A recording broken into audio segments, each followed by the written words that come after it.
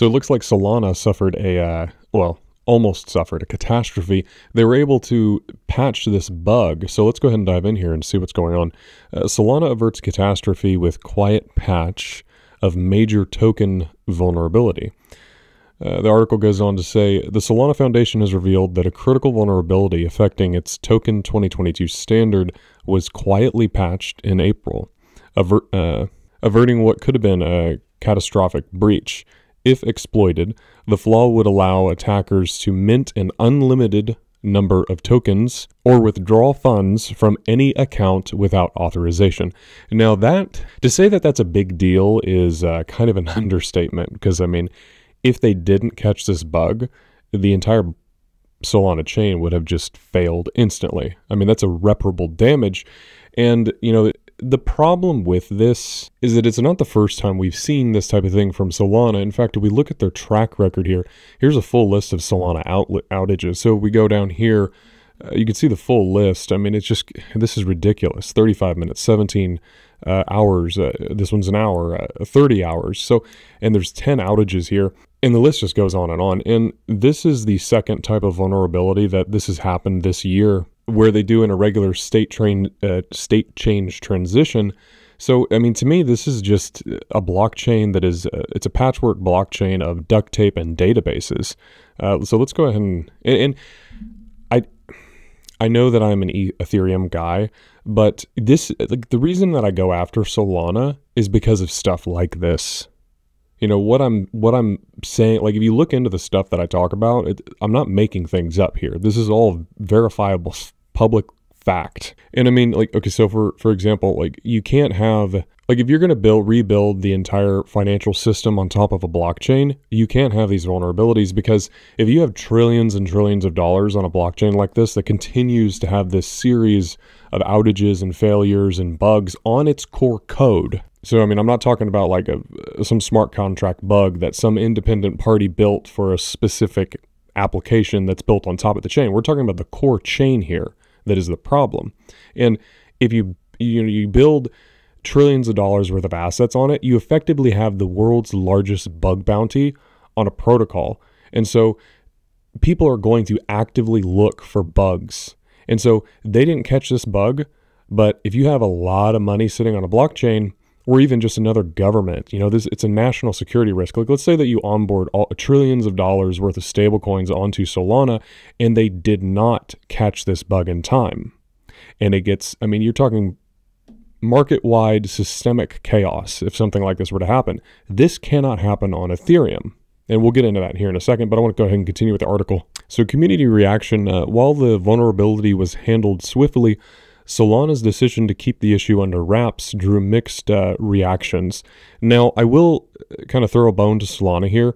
If there is a vulnerability that is this bad, you don't want to advertise it before you can fix it. So I, you know, I kind of I understand that part of it, but the fact is this should have never existed to begin with. Like you, and, and, and it's a series of network failures and outages and bugs that uh, this is why I say it's a patchwork of duct tape and databases. So um, let's go ahead and dive in here, and we're going to take a look at uh, what Ryan uh, has to say. Uh, this is uh, Ryan uh, Berckmans on uh, on X, so he kind of he did an excellent breakdown of, of, the issue. So Ryan says people are missing the important points. this with the Solana emergency fork situation.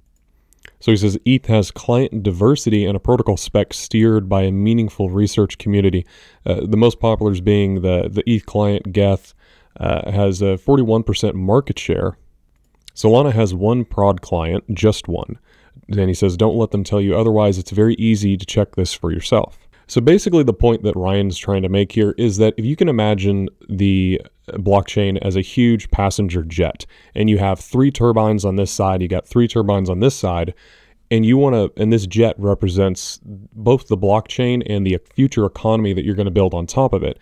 If one of those turbines suddenly breaks, well, you still have five other turbines that you can keep chugging along with. Those are the clients that can keep the blockchain uh, uh, functional. That's what you have on Ethereum. You have backup clients. If you have a small bug in one of these clients, it's not going to be an issue. It's very diverse, it's very secure.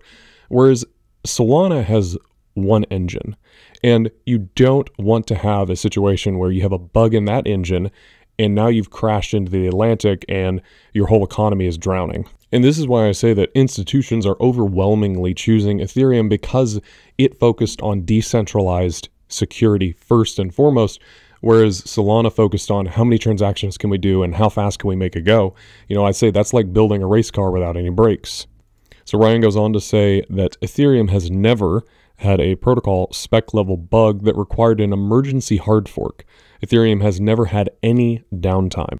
The closest thing that we've had was back in November of, uh, I believe it was 2020, where Ethereum had a bug in one of its clients, but the network did not go down because we had client diversity. We had a lot of different clients, and we were able to uh, to remain uh, chugging along as normal.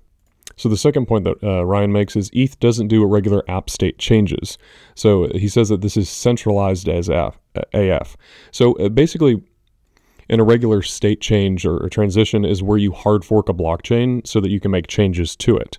Now, uh, he goes on to say that governments already know it's possible to get Solana to do a rapid, unplanned, irregular state transition, that it's happened twice in the past year. This defeats the entire purpose of having a blockchain. You know, I mean, imagine another world government pressuring uh, the central uh, centralized entity of Solana into undoing transactions or uh, doing this state change to make maybe the, uh, we're in a wartime and they want to attack uh, infrastructure, uh, financial infrastructure. So that's the the key with decentralized security is that that vulnerability doesn't exist. You cannot force Ethereum to do anything. It's you build on top of it and do what you you want, but you can't force the core base layer that everything else relies on for decentralized security. Uh, and that is how, you know, financial institutions in the United States can trust untrustworthy partners around the world to do business and be even more profitable. It is that decentralized credibility that ensures that you're able to do business across the globe in a trustless, credibly neutral environment. And something does appear to be brewing under the hood here. So we take a look at Solana and Ethereum, there is a rising wedge forming here on the weekly time frame, and I always say that they write the news to match the price action. So I wouldn't be surprised if something, either something bad happens here and Solana begins to just collapse down, or something really good happens for Ethereum and it goes up. But either way, I'm seeing a lot of posts on X right now about, you know, sell Ethereum, buy by uh, Solana, and I wouldn't be surprised if it's because they're they, are aware of this rising wedge formation, which is an extremely bearish pattern. So you know, again, this is I'm just relaying the facts here. So you know, take with this and, and do what you will with it. That's all I'm relaying is just the facts. So let's go ahead and move on to some other news here. So Donald Trump claims uh, he's placing 100% tariffs on all films produced outside of America that are brought into the country says any and all movies coming into the country that are produced in foreign lands, uh, we want uh, movies made in America again. So that's an interesting post, and the markets didn't seem to like it. They seemed to pull back a little bit. This came out uh, last night, uh, and so just have to keep an eye on that. You know, the this is the same old tariff fears that we have had going on for a while now. My hope is that this stuff gets resolved and the markets can continue on uh, there are talks of uh, some trade deals getting done. So, again, we're just waiting for those first few trade deals to be finalized, and I expect that the markets will bounce on that relief. So, SEC Commissioner, uh, they're doing a meeting coming up, I believe it's May 12th.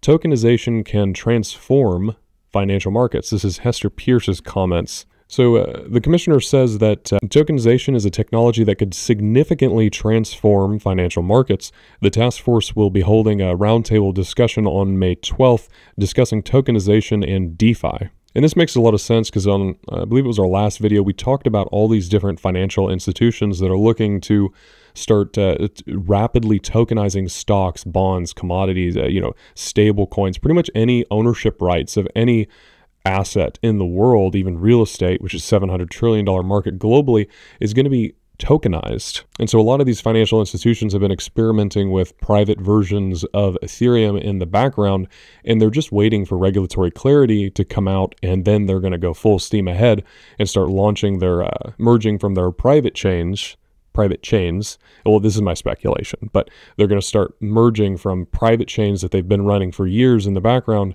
to the Ethereum mainnet. Now, why would they do that? Well, they would merge because they want to be part of this large ecosystem because you make a lot more profit You know, I've said this before, you make more profit if you have a lemonade stand in Central Park in New York than if it's on a desert island. So, being part of a huge network that is decentralized, incredibly neutral, there's a lot of profit to be made out there. So, that's why they want to do this. Now, if you want to take a look at this roundtable whenever it happens, and I will cover it, uh, you just go to the sec.gov website and you'll be able to stream it there. So the other news is that uh, this week we have uh, the federal funds rate meeting.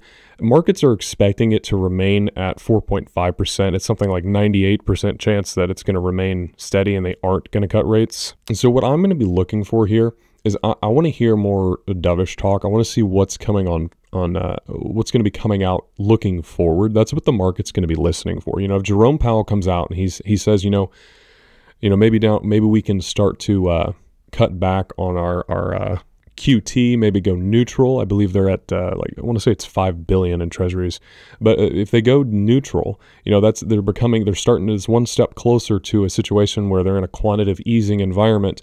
Uh, I do expect interest rates to start coming down in the future here. Uh, right now they're pricing in about one percent for the year, so we just have to keep an eye on that. This is just going to contribute to more global liquidity, which is going to fuel uh, you know risk assets like stocks and Bitcoin to go even much higher, and Ethereum as well. So this is really interesting. Uh, gonna have to keep an eye on that, but I think that pretty much covers it for today. So if y'all have any questions, leave in the comment section down below, and I'll talk to y'all next time.